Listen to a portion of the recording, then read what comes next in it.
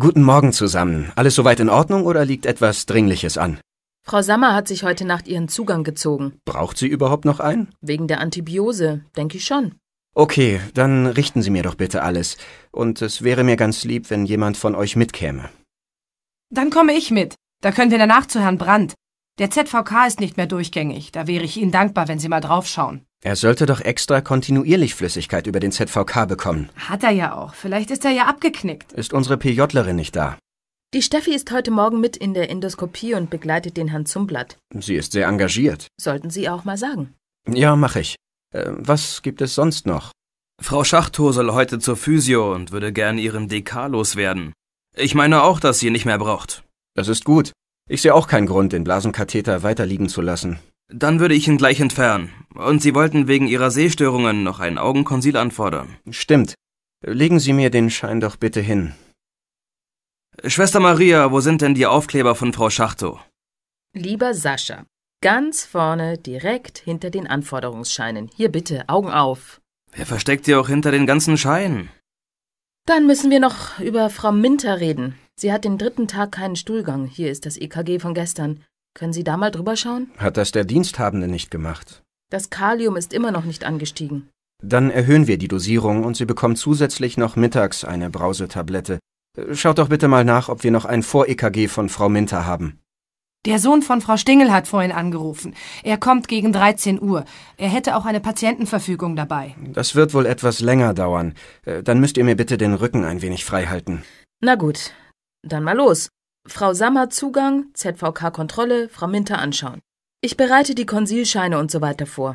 Und dann gehen wir die restlichen Befunde durch. 1, Ein Milligramm Adrenalin mit 9 Milliliter NaCl bitte in einer Spritze aufziehen. 2, Bitte tropfen Sie bei Frau Schachtow regelmäßig beide Augen mit. 3, Bitte das Metamizol nicht so schnell laufen lassen. 4, Sie können den Port nicht mit normalen Kanülen anstechen, da Sie damit die Silikonmembran zerstören. 5, Sie können das Antibiotikum über den Zugang geben. 6. Die Medikamente sollten spätestens zwei Stunden nach dem Aufziehen verwendet werden.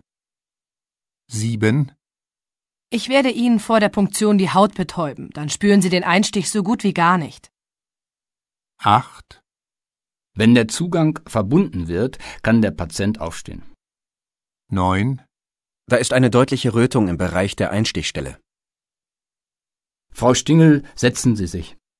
Sie sind bestimmt der Sohn. Mein Name ist Kaiser, ich bin der Stationsarzt. Ja, guten Tag, Stingel. Wir wollten noch einmal mit jemandem sprechen. Ich habe meinen Sohn extra hergebeten. Ja, das ist eine gute Idee. Möchten Sie eine Tasse Tee oder Kaffee? Tee bitte. Wenn Sie einen Kaffee hätten, wäre das toll.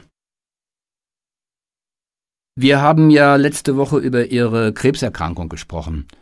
Und Sie haben jetzt noch einmal um ein Gespräch vor der Chemotherapie gebeten. Ja, äh, richtig. Ich bin in den letzten Tagen so unsicher, ob das alles so sinnvoll ist.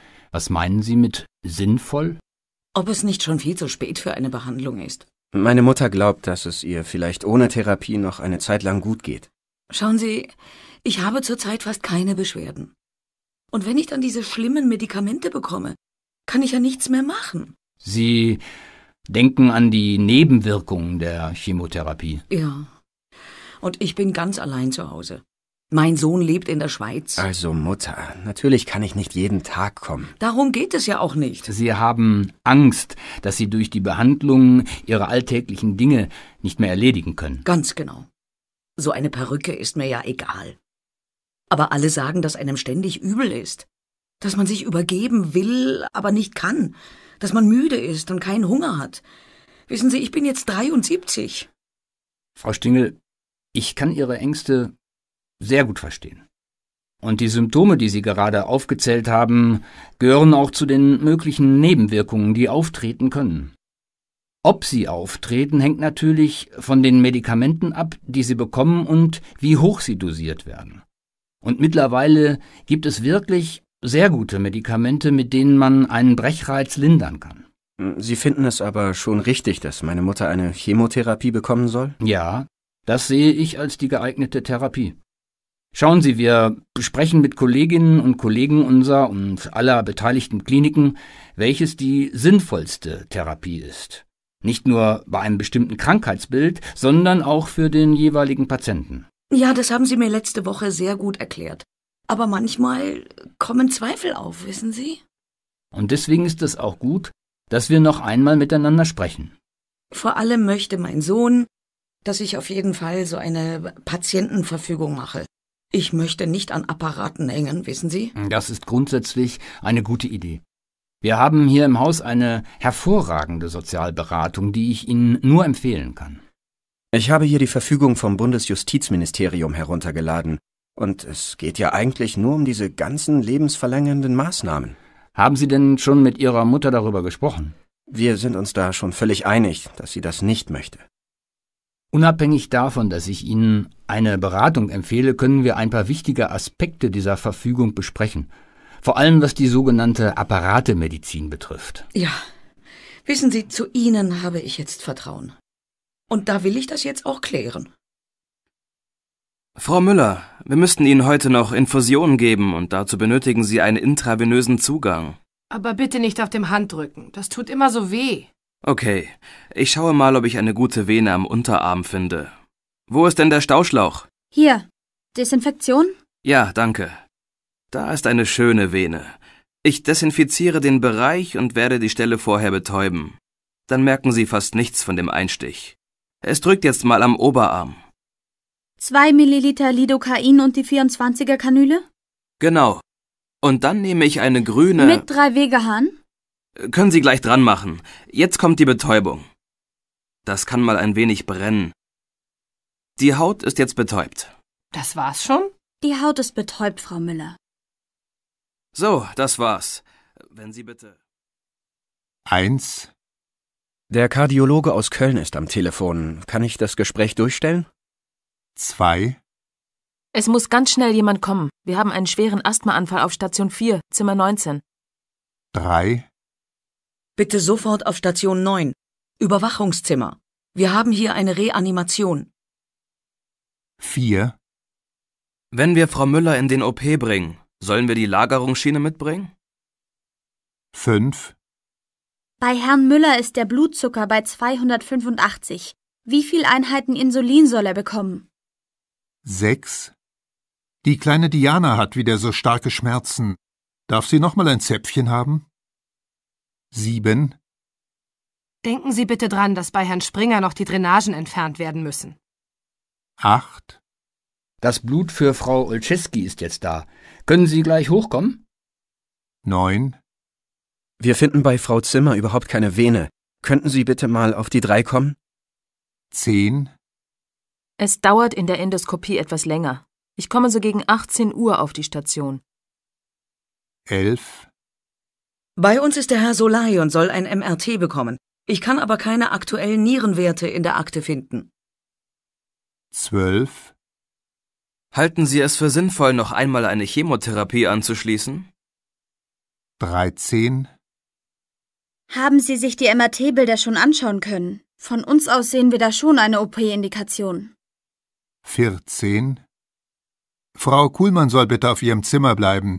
Ich muss sie noch wegen der Radiojodtherapie aufklären. 15.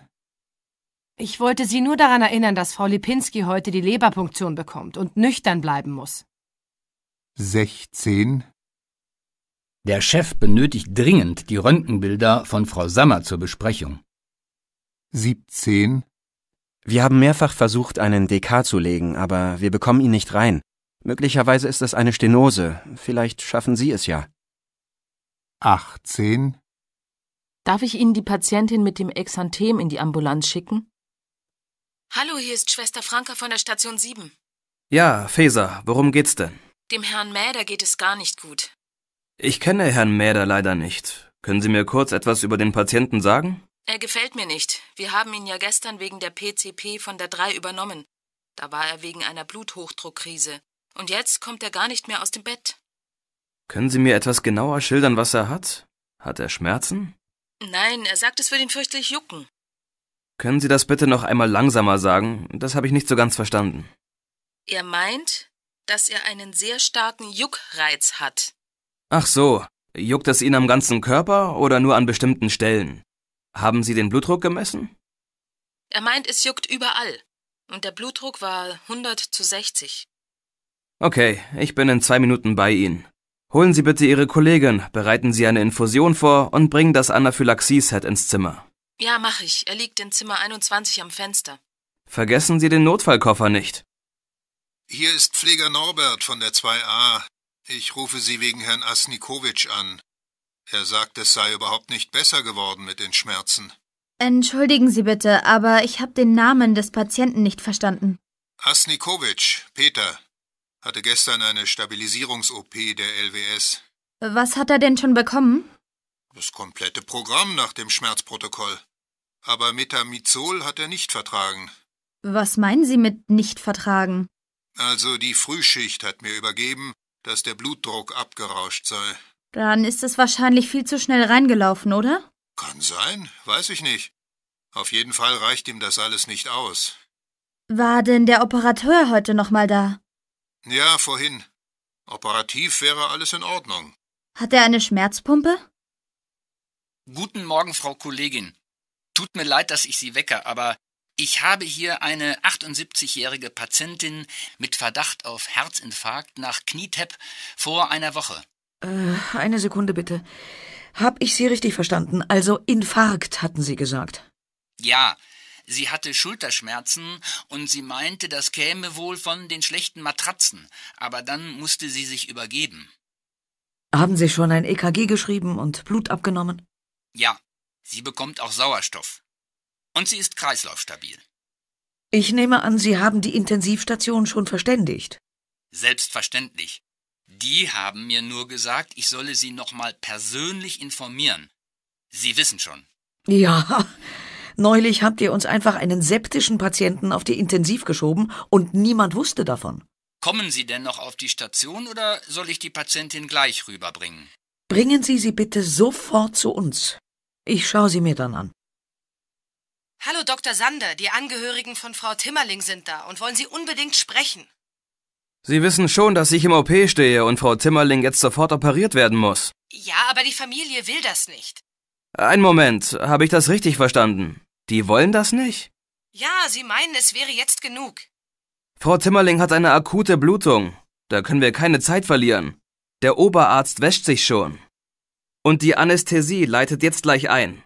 Ja, ich weiß. Vielleicht kann ich mit den Angehörigen zum OP kommen und Sie können es ihnen erklären. Ich glaube, das ist jetzt sehr wichtig. Ja gut, Sie haben recht. Bringen Sie sie zur Schleuse 2. Ich komme dort raus und spreche mit Ihnen. Guten Morgen, Herr Sauer. Ja, guten Morgen, Frau Marzok. Herr Sauer, wir haben ja gestern schon darüber gesprochen, dass Sie wahrscheinlich noch einmal zurück in die Klinik verlegt werden müssen. Ja, ich weiß.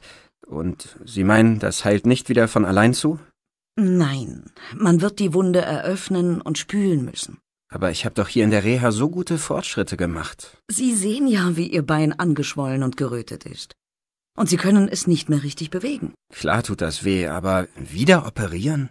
Ich habe vorhin mit dem Operateur telefoniert. Ich habe ihm die Situation geschildert und er ist auch der Auffassung, dass man sie noch einmal aufnehmen sollte. Kann man das denn nicht hier operieren? Nein, für operative Eingriffe sind wir nicht ausgerichtet. Und wann soll ich zurück in die Klinik? Heute Mittag. Ja, guten Tag, Wagner am Apparat. Grüße Sie, Herr Wagner. Hier ist noch einmal die Frau Marzok. Wir hatten ja gestern wegen Herrn Sauer telefoniert. Ja, stimmt. Herr Sauer, Knietep rechts. Sie hatten mir gesagt, dass er eine Wundinfektion entwickelt habe. Es hat sich wahrscheinlich verschlechtert, oder? Richtig. Die Knieschwellung hat weiterhin zugenommen.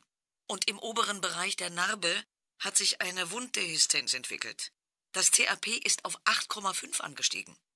Die Leukos liegen bei knapp 10.000. Ich denke, das werden wir revidieren müssen. Hm, sehe ich auch so. Können wir ihn heute noch zu Ihnen verlegen? Organisieren Sie bitte in jedem Fall einen Transport. Ich rufe Sie gleich zurück, wo ich ihn unterbringen kann. Wie war denn der letzte HB? 12,3. Danke Ihnen. Gut. Sie erreichen mich am besten über die Pforte. Dem Patienten, den Angehörigen und Besuchern muss das Vorgehen gezeigt und erläutert werden. Dies gilt auch für das Reinigungspersonal oder Auszubildende, denen gelegentlich so spezielle Abläufe nicht geläufig oder unbekannt sind. Das Prozedere sollte eingeübt werden. Wir haben es mit Laien zu tun, die wahrscheinlich noch nie einen Mundschutz in der Hand hatten. Das gleiche gilt für die hygienische Händedesinfektion, die bei Betreten und nach Verlassen des Raumes durchgeführt werden muss.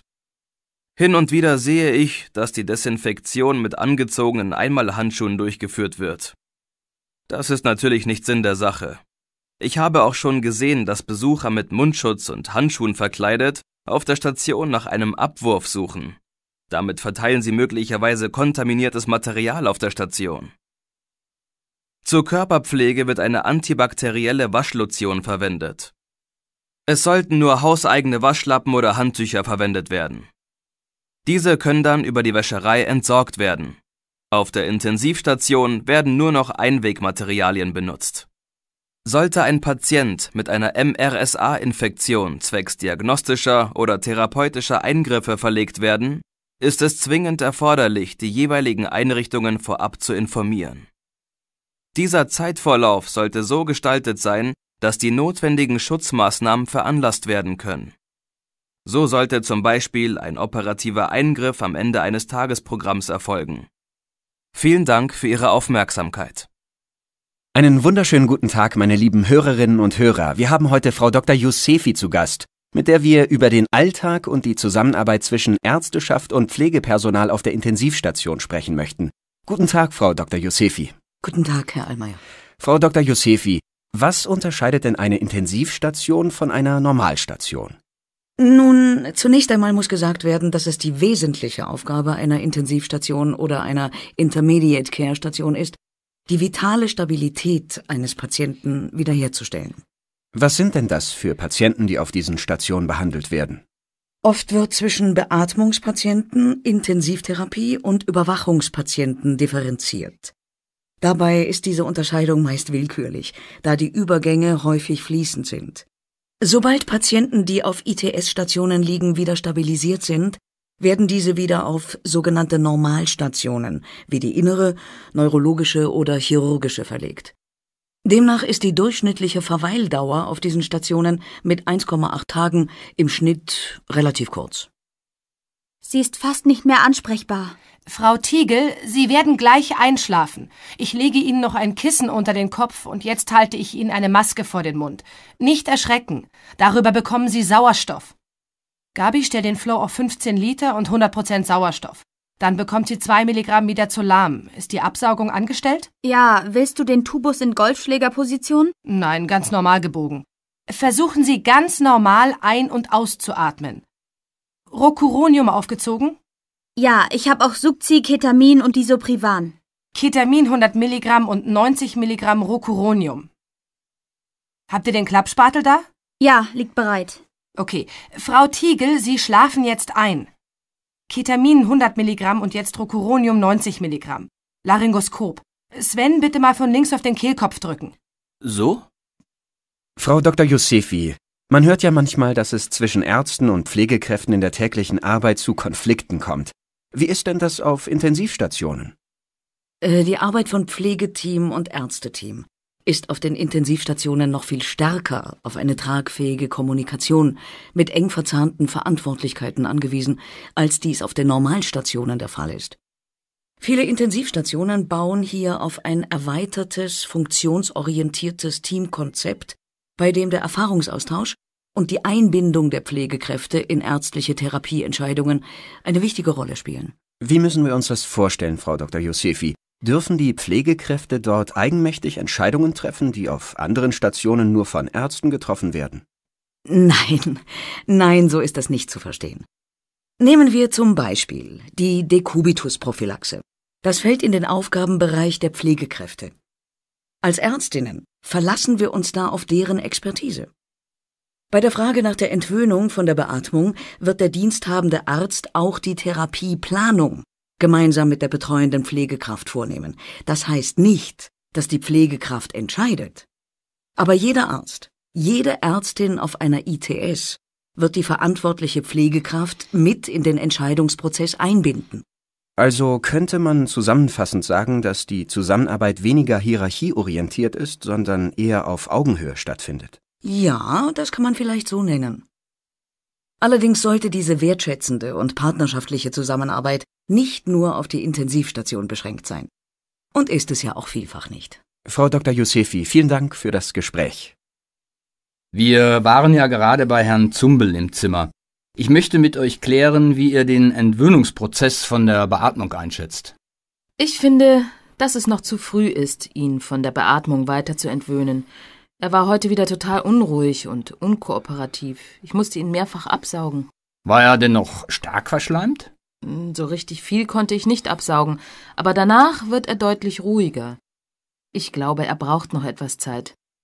Was sagt denn unser Atmungstherapeut dazu? Ich war vorhin bei ihm. Ich schätze ihn als sehr motiviert ein. Atemfrequenz und Atemzugvolumen sind unter der Unterstützung ganz passabel. Vielleicht sollten wir unseren Blick nochmal auf die psychische Stabilität von Herrn Zumbel richten. Schwester Bettina, ich muss mit Ihnen über die Lagerung bei Frau Solter reden. Ja, worum geht es? Wir hatten in der gemeinsamen Besprechung vereinbart, dass die Dekubitusprophylaxe konsequent durchgeführt werden muss. Das wird sie auch. Dann schauen Sie sich doch die Freilagerung der Fersen an. Ich sehe sie nicht. Wir haben gerade das Bett neu gemacht. Wenn bei dieser Hochrisikopatientin mit ihrer Adipositas und ihrem Diabetes die angeordneten Lagerungstechniken nicht durchgeführt werden, dann brauchen wir uns über einen Dekubitus auch nicht zu wundern. Tim, wie ist die Lage? Ich habe von Schwester Sandra gehört, dass die Patientin Frau Weiler sie nachts mehrfach wegen ihrer Schmerzen gerufen hat. Ich denke, die aktuelle Schmerzmedikation bei Frau Weiler ist nicht ausreichend weshalb sie in erster Linie solche ungezielten Bewegungen macht. Oder sie zupft am Bettlaken herum. Wenn man sie anspricht, beruhigt sie sich auch wieder. Was meinen Sie, Frau Stanzel? Macht sie bei der Mobilisation mit? Es war heute ziemlich mühsam mit ihr. Gestern hat sie noch alle Übungen mitgemacht und heute war sie sehr unruhig, wollte immer anders sitzen. Ich habe vorhin mit den Angehörigen gesprochen. Die sagen, sie sei sonst eher eine ruhige Person wobei sie seit einem halben Jahr ein Antidepressivum einnimmt. Sie wussten den Präparatenamen nicht, wollen aber nachher anrufen. Ich habe ihr eben Entspannungsmusik angemacht. Das gefällt ihr sehr gut. Ja, eine tolle Idee. Meint ihr, dass sie adäquat hydriert ist? Schon. Die Ausscheidung ist in Ordnung. Die Laborwerte von heute bekommen wir gleich. Ich schlage vor, wir gehen jetzt noch einmal zu ihr. Frau Doktor, Ihr Kollege hat uns erklärt, dass es sehr kritisch um meinen Mann steht. Und er hat ja eine Patientenverfügung gemacht. Worum es uns doch geht, ist, dass wir die Behandlung an meinem Vater beenden möchten. Darf ich Ihnen kurz noch einmal die Situation schildern? Natürlich, wenn Sie meinen. Ja, ich glaube, dass dies hilft, Ihnen unser Vorgehen verständlich zu machen. Herr Büttner wurde wegen einer Lungenentzündung behandelt. Vor drei Tagen mussten wir ihn auf die Intensivstation verlegen, weil sich sein Zustand plötzlich verschlechtert hat. Wir beatmen ihn und geben ihm Medikamente, die seinen Kreislauf stabilisieren. Mein Mann wollte nie an Maschinen angeschlossen werden. Der Kollege hat uns gesagt, dass man nicht sagen kann, wie es weitergeht, und zu den Überlebenschancen wollte er sich nicht äußern. Was befürchten Sie denn? Er hat immer gesagt, dass er in Würde sterben will. Und er hat sich die letzten Wochen schon gequält. Und jetzt erfülle ich ihm seinen letzten Wunsch nicht. Sogar im Gegenteil. Er hängt an einer Maschine und Spritzenpumpen. Glauben Sie, dass Ihr Vater auch dann sterben möchte, wenn er eine Chance auf Heilung hätte? Aber er wird doch nur noch beatmet. Ja, wir beatmen ihn zurzeit, weil er zu schwach ist, selbst zu atmen. Er bekommt spezielle Antibiotika. Mit denen hoffen wir, ihn heilen zu können. Ihr Mann, Ihr Vater wird zurzeit intensivmedizinisch behandelt aber er befindet sich noch ganz und gar nicht in einer Situation, bei der wir von uns aus die Therapie abbrechen würden. Sie meinen also, er stirbt nicht? Ich versuche mit Ihnen ehrlich zu reden. Ihre Frage kann ich nicht beantworten. Ich kann Ihnen aber sagen, dass er jetzt ganz aktuell nicht im Sterben liegt oder dass wir durch unsere Therapie nur seinen Sterbeprozess verlängern würden. Sie wollten mit mir über Ihre Mutter sprechen? Ja, genau, weil es ihr gar nicht besser geht. Sie liegt jetzt schon seit einer Woche im Koma. Wir lassen sie mit Medikamenten gezielt in einem Tiefschlaf. Aber das nützt ihr nichts. Sie hat Schläuche hier und da. Sie kann nicht sprechen. Wir wollen das nicht mehr. Was wollen Sie nicht mehr? Ja, das Ganze. Meine Mutter war eine gute Mutter. Verstehen Sie das? Sie wollte in Frieden gehen und nicht so. Niemand redet davon, dass Ihre Mutter sterben muss. Ihr Zustand ist weiterhin kritisch. Das ist richtig. Ihre Nierenwerte sind durch die Dialyse, die wir jetzt durchführen, deutlich besser geworden. Das ist prognostisch ein gutes Zeichen.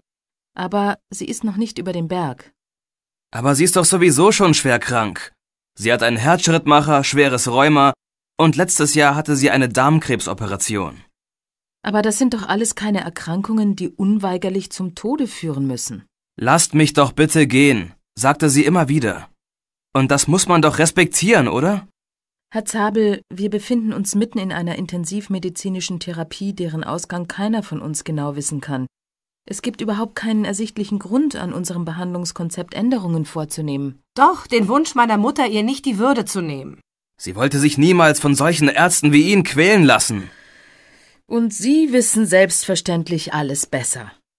Sie kommen zu mir ohne eine Patientenverfügung, ohne irgendetwas Schriftliches, sagen mir, was Ihre Mutter vielleicht möchte, was sie geäußert hat, als sie gesund war. Und ich soll was, bitteschön, machen? Die Beatmungsmaschine abstellen, das würde sie sich wünschen. Nicht leiden. Auf jeden Fall kann man die ganzen Pumpen ausstellen. Das bedeutet, dass wir Ihre Mutter in dem aktuellen Zustand, in dem sie sich befindet, quasi umbringen würden. Und das wollen Sie? Sie soll ruhig einschlafen, wie sie es sich gewünscht hat. Wissen Sie, wir haben erst vorgestern über die Krankheit und die Situation Ihrer Mutter gesprochen. Ich habe das Gefühl, dass Sie mich entweder nicht verstehen wollen oder es nicht können. Ich versuche jetzt, meine Chefärztin zu erreichen. Guten Tag. Bin ich mit der Palliativstation verbunden? Ja, richtig. Niemeyer am Apparat. Ich bin die Stationsärztin. Meurer. Ich bin Hausarzt und möchte wegen Herrn Wagner, einem meiner Patienten, mit Ihnen sprechen.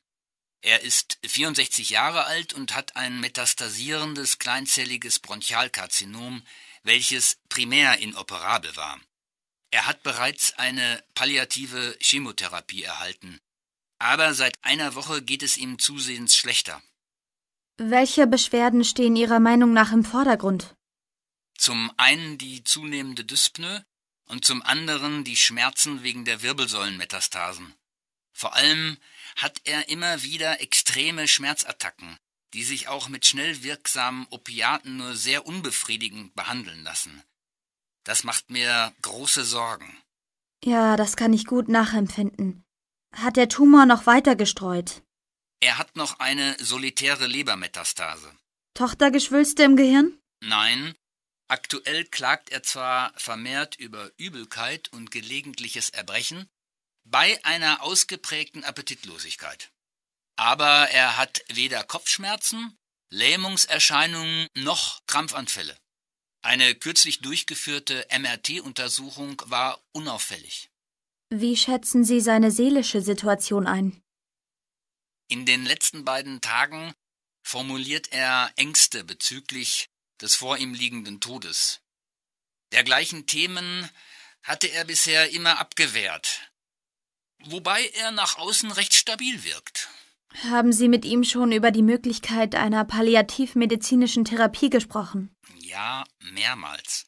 Er redet zwar immer von Hospiz und dass er in kein Krankenhaus mehr will, aber ich konnte ihm erklären, dass die aktuellen Beschwerden weitaus besser stationär gelindert werden können. Und dass er nach erfolgter Stabilisierung auch wieder nach Hause kann. Hat er Angehörige, eine Ehefrau? Er ist verheiratet und hat zwei erwachsene Söhne, die irgendwo in Süddeutschland wohnen. Seine Frau kümmert sich wirklich vorbildlich um ihn, ist aber jetzt mit der ganzen Situation deutlich überfordert. In Ordnung, Herr Meurer. Mir wäre es lieb, wenn Sie mir die wesentlichen Informationen über Herrn Wagner inklusive seiner aktuellen Medikation gleich noch über unser Sekretariat zufaxen würden.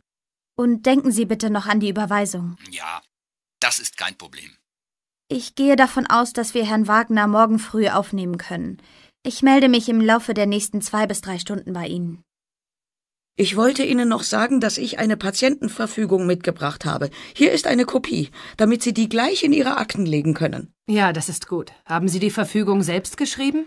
Mit meinem Sohn zusammen. Er hat für sich selbst auch schon eine verfasst. Haben Sie sich denn vom Hausarzt oder einem Anwalt beraten lassen? Es gibt auch gute Tipps auf der Seite des Bundesjustizministeriums. Ach, wissen Sie, ich weiß ja genau, was ich will und was nicht. Und was möchten Sie zum Beispiel auf keinen Fall? Ich möchte Ihrer Apparatemedizin nicht hilflos ausgeliefert sein. Und an so einer Maschine über Wochen und Monate dahin vegetieren. Wissen Sie, ich habe miterlebt, wie meine Schwiegermutter mit ihrem Brustkrebs ein ganzes Jahr gelitten hat, und das will ich auf jeden Fall vermeiden. Das kann ich gut verstehen, wenn Sie ein solches Leid gesehen haben. Und da hängt man ohnmächtig an den Maschinen, das will ich auf keinen Fall. Wenn wir Sie morgen operieren, werden Sie auch einem Beatmungsgerät hilflos ausgeliefert sein. Na, das ist ja ganz was anderes.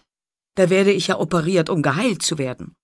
Danach ist die Leistenherrn ja weg. Meine Verfügung gilt ja für den Fall, dass ich sozusagen keine Chance mehr auf ein erträgliches Leben habe. Können Sie sich vorstellen, mit wie vielen Patienten ich schon gesprochen habe und dass es erheblich voneinander abweichende Vorstellungen vom erträglichen Leben gibt? Meinen Sie? Darüber habe ich noch gar nicht nachgedacht. Ich denke, so etwas wie unwürdiges Leben oder würdelos dahinsiechen, das sehen doch alle gleich, oder? Man benutzt dieselben Begriffe, meint aber etwas ganz anderes damit. Manche sagen, dass ihr Leben unwürdig sei, wenn sie querschnittsgelähmt wären. Andere könnten damit leben. Der nächste findet, dass Bettlägerigkeit wie ein Dahinsiechen sei, während es vielen anderen darum geht, ihre geistigen Fähigkeiten zu behalten. Naja. Und bei so einer Leistenoperation wird ja wohl auch nichts passieren, oder? Die Wahrscheinlichkeit, dass Sie bei der Operation in eine lebensbedrohliche Situation kommen, ist äußerst gering. Ich kann Ihnen nur sehr ans Herz legen, Ihre Patientenverfügung noch einmal kritisch zu überarbeiten und schwammige Formulierungen möglichst zu vermeiden. Nur so kann so eine Patientenverfügung uns Ärzten auch helfen, nach ihrem mutmaßlichen Willen zu handeln. Du, Silvia, hast du mal eine Minute für mich Zeit? Ich brauch mal deine Hilfe. Ja klar, Farhan. Worum geht es denn? Ach, ich muss noch ein paar Arztbriefe schreiben. Das macht mich völlig fertig. Ich weiß gar nicht, welche Bezeichnungen da richtig sind. Die einen schreiben es so, die anderen so und mal heißt es Epikrise und dann wieder zusammenfassende Beurteilung. Was ist denn jetzt richtig? Oh ja, das kann ich gut verstehen, dass du damit Schwierigkeiten hast. Das ist ja selbst für uns schwer, die wir hier in Deutschland aufgewachsen sind und studiert haben. Ich habe mich da am Anfang auch schwer getan. Also, zu deiner Frage. Epikrise ist nur ein anderes Wort für zusammenfassende Beurteilung. Ich denke aber, dass Epikrise der Begriff ist, der am häufigsten verwendet wird. Okay, danke. Und was ist dann mit Prozedere? Das Wort verstehe ich sogar, kommt ja aus dem Lateinischen, aber manchmal steht da auch Therapievorschlag. Und bei Diagnose, was schreibe ich da? Führende Diagnose, Hauptdiagnose oder Diagnose? Da dreht sich bei mir alles im Kopf. Ich denke, dass Therapievorschlag und Prozedere gleichbedeutend verwendet werden. Und bei den Diagnosen stehen Hauptdiagnose und führende Diagnose ebenfalls gleichberechtigt nebeneinander. Warum ist das denn nicht einfach einheitlich festgelegt? Arztbriefe zu schreiben ist sowieso schon schwer genug. Im Großen und Ganzen ist es das ja.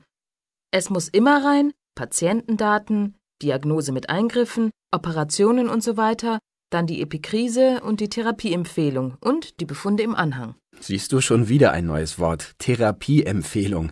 Eben war es noch Therapievorschlag, ist aber wahrscheinlich auch wieder das gleiche, oder? Ja, Farhan, tut mir leid. Die deutsche Sprache ist so reich an Wortschöpfungen. Wir können uns ja morgen nach dem Dienst mal treffen und ich zeige dir, wie. Das finde ich total nett, dass du dir die Zeit nimmst und mir das mit dem Arztbriefschreiben nochmal genau erklärst. Kein Problem, das mache ich doch gern. Dann wiederhole ich das selbst auch nochmal. Kann nie schaden. So, wo fangen wir denn am besten mal an? Weißt du denn noch, wie so ein Brief aufgebaut ist? Ich denke schon. Zuerst dieser Einleitungssatz mit den Patientendaten, Name, Geburtsdatum und so weiter und dann kommen Diagnose, Anamnese, Befunde und ganz am Ende dann die Epikrise und eine Therapievorschlag. Ein Therapievorschlag, aber eine Therapieempfehlung was aber auf das Gleiche hinausläuft. Super, da hast du ja den Aufbau schon mal gut verstanden. Manche Ärzte oder Abteilungen tauschen auch schon mal Anamnese und Diagnose. Aber grundsätzlich kann man es so machen, wie du gesagt hast. Dann ist es noch wichtig, dass du dich so kurz und präzise ausdrückst wie möglich. Ein Arztbrief soll die wichtigsten Informationen vermitteln und nicht wie ein Roman geschrieben sein. Wichtig ist, wenn du von unserer Abteilung oder vom Krankenhaus schreibst, dass du in der Wir-Form schreibst, also nicht ich berichte über Ihren Patienten XY, sondern wir berichten. Äh, halt, halt, halt, nicht so schnell. Ich komme ja gar nicht mehr mit dem Schreiben nach. Oh, Entschuldigung, klar. Was möchtest du denn noch wissen? Ich habe schon mal gehört, dass der Brief in der Vergangenheitsform geschrieben werden soll. Stimmt das? Ja, das ist richtig.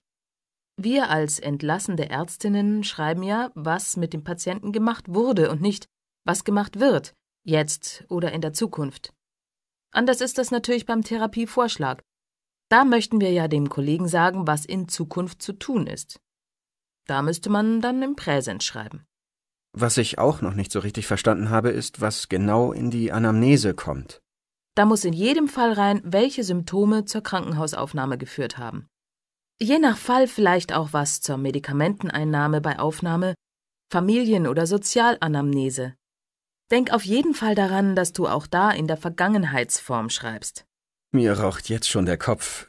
Könnten wir für heute aufhören? Natürlich. Wenn du magst, dann kannst du ja für morgen mal einen Arztbrief schreiben und ich schau dann drüber. Und schreib auf keinen Fall mehr als drei Seiten. Eher weniger. Super, das ist nett von dir. Das mache ich mal. Vielen Dank, Silvia. So, Frau Hein. Die Befunde sind alle in Ordnung. Bei dieser Operation, also der Darmentfernung, empfehle ich Ihnen, dass wir eine sogenannte Kombinationsnarkose durchführen. Ach, ich will am liebsten gar nichts mitbekommen. Das werden Sie auch nicht. Kombinationsanästhesie bedeutet, dass wir zwei Narkoseverfahren miteinander kombinieren. Für die Operation bekommen Sie eine Vollnarkose. Wenn Sie in den OP kommen, werden wir Ihnen Elektroden für die Herzüberwachung ankleben den Blutdruck messen und ihnen eine Verweilkanüle legen. Aber bitte nicht hier vorne. Das tut so furchtbar weh. Wissen Sie, und ich hab da ja auch fast keine Venen. Ich werde mir das morgen früh anschauen. Falls ich im Bereich des Unterarms eine gute Vene finde, nehmen wir die. Das letzte Mal haben Sie meine Frau völlig zerstochen. Und das war nur eine kleine Operation. Also, wir geben uns alle Mühe. Über diesen Zugang erhalten Sie Flüssigkeit und darüber geben wir Ihnen auch die Einschlafmedikamente. Wenn Sie eingeschlafen sind, werde ich Ihnen einen Beatmungsschlauch, den Tubus, in die Luftröhre legen. Und da bekomme ich auch wirklich nichts von mit. Ganz sicher. Sie werden in tiefer Narkose sein. Mittels eines speziellen Überwachungsgerätes kann ich Ihre Schlaftiefe sehr gut kontrollieren. Wenn ich schlafe, können Sie machen, was Sie wollen. Ja. Nun, wie gerade besprochen, ist das der eine Teil der Narkose, die Allgemeinanästhesie. Das zweite, was ich Ihnen bei dieser Operation unbedingt empfehle, ist, dass wir Ihnen zur optimalen Schmerzversorgung einen Schmerzkatheter legen. Sie meinen am Rücken, oder? Richtig. Man legt diesen Schmerzkatheter im Bereich der unteren Brustwirbelsäule. Da, wo ich vorhin auch bei Ihnen getastet habe. Das tut bestimmt weh. Nun lass ihn doch mal ausreden. Ich werde die Stelle, an der ich punktiere, vorher betäuben. Das bekommen Sie natürlich mit. Sie werden einen leichten Druck spüren und eventuell einen Brennen an der Stelle. Vorher werden Sie sich hinsetzen. Die Anästhesieschwester wird Ihnen behilflich sein und Sie in den Arm nehmen, sodass Sie möglichst entspannt sitzen können. Durch die betäubte Stelle führe ich die Punktionsnadel vor und lege dann einen ganz dünnen Schlauch in den Bereich, wo die Nerven liegen, die für die Phase nach der Operation betäubt werden sollen. Diese Betäubung bedeutet, dass Sie in aller Regel keine weiteren stark wirksamen Schmerzmedikamente mehr benötigen. Sie wissen gar nicht, was ich für eine Angst habe. Aber wenn Sie sagen, dass es gut ist. Ja, glauben Sie mir. Wir sind ja ein Zentrum für Darmoperationen und ich sehe jeden Tag, wie die Patienten von dieser Kombinationsnarkose profitieren. Also, Unsere Enkeltochter. Aber das brauchst du doch jetzt gar nicht zu erzählen. Sie ist in der Ausbildung zur Ärztin. Sie ist gerade in der Anästhesie und da hat sie uns einen Zettel mitgegeben. Am besten, ich gebe Ihnen den mal. Ja, klar. Narkose, ITN, TIVA plus PONFP und PDK. Sehen Sie, da hat Ihre Enkeltochter genau das aufgeschrieben, was ich Ihnen gerade erklärt habe. ITN ist die Abkürzung für Intubationsnarkose. Also die Narkose, bei der ich Ihnen den Tubus in die Luftröhre lege. Und das nennt man Intubation oder Intubieren. TIVA ist eine spezielle Form der Allgemeinanästhesie, die ich morgen bei Ihnen anwenden werde. Dabei bekommen Sie alle Medikamente, die zur Narkose notwendig sind, über die Vene verabreicht. Aber sie soll ja auch was gegen die Übelkeit bekommen. Ach ja, Herr Dr. May ist immer so schlecht. Auch nach der letzten Operation. Das hat Ihre Enkeltochter auch schon verordnet. Ja, sie ist resolut. Spaß beiseite. Sie bekommen von mir zusätzlich Medikamente, die die Übelkeit und das Erbrechen unterdrücken. Und das nennt man auf Neudeutsch PONF-Prophylaxe. PONF ist die Abkürzung für Postoperative Nausea and Vomiting. Man versucht der Übelkeit und dem Erbrechen nach der Operation durch spezielle Medikamente vorzubeugen, also Prophylaxe zu betreiben. Da hoffe ich, dass es diesmal nicht so schlimm wird. Naja, und PDK bedeutet Periduralkatheter, also der Schmerzkatheter, von dem ich vorhin gesprochen habe. Ja, was unsere Enkeltochter aufgeschrieben hat. Sie ist eine sehr tüchtige junge Ärztin. Das freut mich. Ich werde Ihnen nun noch ein paar wesentliche Komplikationen erklären, die bei den Narkoseformen auftreten können. Muss das wirklich sein? Das muss sein. Ich glaube auch, dass es besser ist, wenn Sie die Abläufe und möglichen Probleme kennen, als wenn alles im Dunklen liegt. Also, bei der Vollnarkose lege ich Ihnen einen Tubus in die Luftröhre und dabei kann es sein, dass Sie nachher Schluckbeschwerden haben oder ein wenig heiser sind. In seltenen Fällen kann es zu Verletzungen der Stimmbänder kommen. Dies erwarte ich bei Ihnen überhaupt nicht, da Sie den Mund sehr weit öffnen können. Das will ich auch nicht hoffen, wissen Sie. Ich singe nämlich im Gemeindechor. Seien Sie völlig beruhigt. Was kann noch passieren?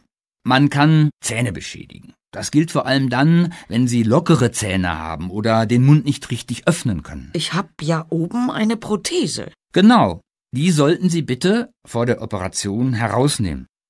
Sie dürfen morgen früh bis um 5 Uhr klare Flüssigkeit zu sich nehmen. Darf sie heute Nacht noch was trinken? Ja, das dürfen Sie, Frau Heim. Es ist uns sogar sehr lieb, wenn Sie so lange wie erlaubt trinken.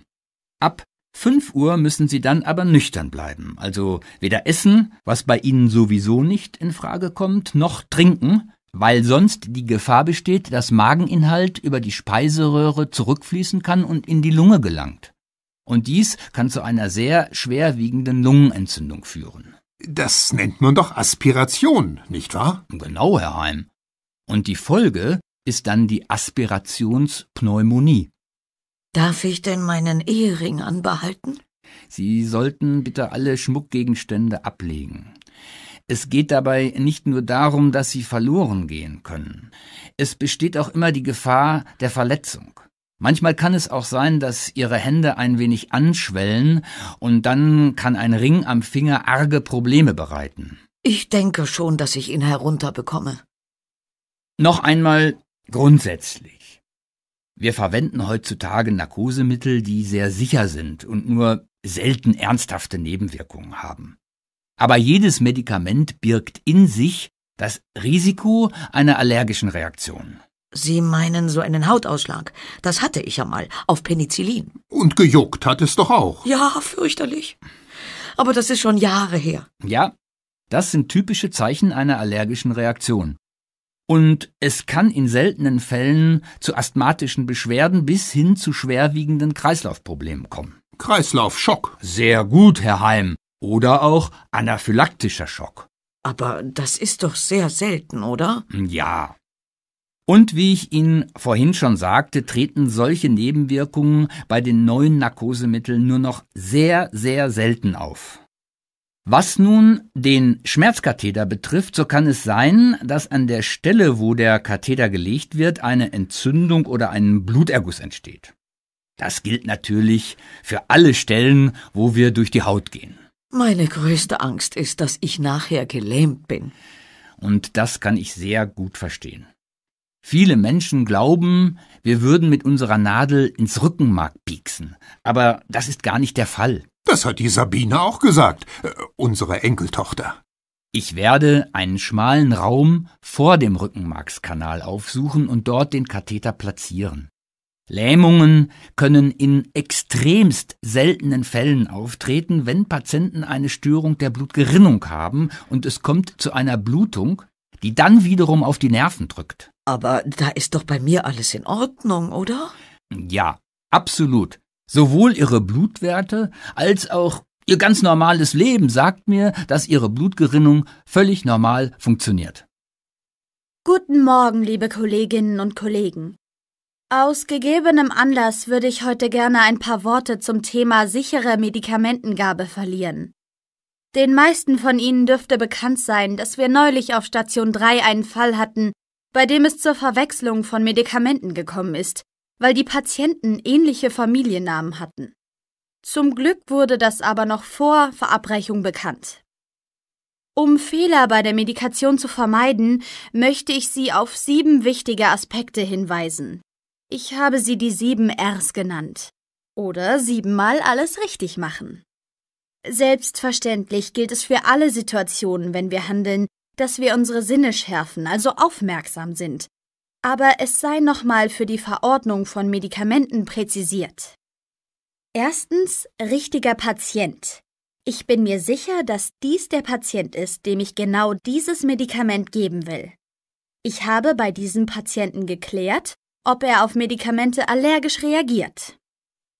Zweitens, richtiges Arzneimittel. Ich benutze keine Abkürzungen. Ich schreibe den Wirkstoff auf. Der Handelsname kann in Klammern nach dem Wirkstoff dokumentiert werden. Wenn ich das Arzneimittel richte, schaue ich genau auf die Verpackung. Ich weiß, es gibt Medikamente, die leicht zu verwechseln sind, weil sie ähnlich aussehen. Drittens. Richtige Dosierung. Ich habe die Dosierung genau berechnet. Ich weiß, dass die Berechnung sich auf die Altersgruppe, das Körpergewicht oder die Körperoberfläche bezieht. Ich habe auf bestehende Nebenerkrankungen wie eine Niereninsuffizienz geachtet. Ich habe mich bei schwierigen Berechnungen der Dosierung rückversichert. Viertens. Richtige Applikationsform. Die Art und Weise der Medikamentengabe ist genau beschrieben.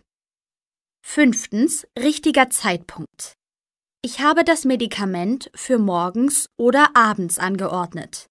Und wenn es mehrmals über Tag eingenommen werden soll, habe ich die Zeitintervalle beschrieben. Ein von mir verordnetes Medikament hat eine maximale Dosis pro Tag. Und ich habe festgelegt, nach welcher Zeit Wiederholungsgaben frühestens gegeben werden dürfen. Sechstens, richtig aufgeschrieben. Ich habe die Anordnung eindeutig dokumentiert. Sie steht an der richtigen Stelle und ist auch leserlich. Bei Standardmedikationen verwende ich Ausdrucke oder nutze digitale Medien. Siebtens, richtig wach. Ich habe die Anordnung präzise ausgesprochen. Und das Gegenüber kann sagen, ich habe die Anordnung genau verstanden und bei Unklarheit habe ich nachgefragt. Ich weiß, es gibt Medikamente, die hören sich sehr ähnlich an. Gut, dann richten Sie eine Ampulle Novamin über 15 Minuten. Intravenös? Ja, natürlich. Wenn ich Ampulle sage, meine ich immer die intravenöse Gabe. Okay. Äh, wir haben 1 Gramm und 2,5 Gramm Novaminampullen. Ein Gramm Novamin in einer 50 Milliliter Kochsalzlösung als Kurzinfusion. Schreiben Sie es bitte noch in die Krankenakte? Die kleine Sonja braucht unbedingt noch mal was gegen ihre Schmerzen. Was hat sie denn schon bekommen? Heute Morgen von dem Ibuprofensaft. Das ist jetzt fast acht Stunden her. Sagen Sie mir bitte, wie alt und wie schwer die Sonja ist. Sie ist dreieinhalb und wiegt, da muss ich mal nachschauen, 15 Kilo. Und heute Morgen hat sie wie viel genau bekommen? 5 Milliliter von dem zweiprozentigen Saft. Also 100 Milligramm. Das ist okay. Sie darf insgesamt 300 Milligramm über 24 Stunden von dem zweiprozentigen Saft einnehmen. Das sind 15 Milliliter als Gesamtmenge. Dann dürfen Sie ihr jetzt nochmal 100 Milligramm, also 5 Milliliter, verabreichen. Und danach mindestens sechs Stunden bis zur nächsten Gabe warten. Ziehen Sie bitte ein Milligramm Adrenalin auf. Mit Kochsalz verdünnen? Ja, 1 zu 9. Ein Milliliter Adrenalin und dann 9 Milliliter Kochsalz. Macht 10 Milliliter. Richtig. Wo sind denn die Aufkleber? Liegen die nicht im selben Fach wie das Medikament? Nein, da hat wieder einer alles umorganisiert. Aber das ist ja gar nicht das Adrenalin. Wie bitte? Auf der Ampulle steht Oxytocin. Die sehen sich total ähnlich. Das habe ich nicht gesehen. Ich habe gehört, dass vor kurzem jemand Midazolam intravenös gegeben hat, obwohl es für die orale Gabe vorgesehen war. Ja, das habe ich auch mitbekommen. Das Problem ist, dass das Medikament auf eine Spritze aufgezogen wurde, mit der man auch IV-Gaben durchführen kann. Und es wurde der Applikationsweg nicht eindeutig vermerkt? Wir haben deswegen bei uns eindeutige Standards für die meisten Verordnungen festgelegt. Damit kannst du auf die meisten handschriftlichen Vermerke verzichten. Schreibt ja nicht jeder gleich leserlich. Richtig. Und die Pflegekräfte haben bei dem ganzen Prozess der Medikation das Vier-Augen-Prinzip eingeführt. Das Vier-Augen-Prinzip. Was ist das denn? Also, was machen die da genau? Sie arbeiten beim Richten der Medikamente zu zweit. Und auch der gesamte weitere Ablauf wie Verabreichung und Dokumentation wird gemeinsam kontrolliert. Ich wollte nachfragen, wie Sie die Prophylaxe von Übelkeit und Erbrechen mit Ondansetron vor der Chemotherapie bei Kindern durchführen. Wenn die Kinder älter als zwei Jahre sind, geben wir eine Viertelstunde vor der Chemotherapie eine intravenöse Einzeldosis. Sozusagen unmittelbar vor Behandlungsbeginn. Richtig, und denken Sie daran, dass Sie die aktuelle Körpergröße und das Gewicht des Kindes vorliegen haben, damit Sie die Körperoberfläche richtig berechnen können. Und dann verabreichen Sie 5 Milligramm pro Quadratmeter Oberfläche. Ja, das ist die empfohlene Dosis. Und danach steigen Sie auf die orale Gabe um, ist das richtig? Um es genau zu sagen, nach zwölf Stunden geben wir 4 Milligramm Ondansetron per Os. Ja, Sie haben recht. Gerade bei den Medikamenten zur Behandlung der Epilepsie können dosisabhängige Nebenwirkungen auftreten. Mit welchen Nebenwirkungen muss ich denn bei der Therapie mit Phenytoin rechnen? Die Patienten verspüren gelegentlich eine Art innerer Unruhe. Schwindel, Kopfschmerzen bis hin zum Nystagmus oder auch Dysarthrin sind beschrieben. Ich möchte Sie gern noch zu einer anderen Nebenwirkung befragen. Stimmt es, dass bis zu 50 Prozent der Patienten Zahnfleischwucherungen bekommen? Ja, leider.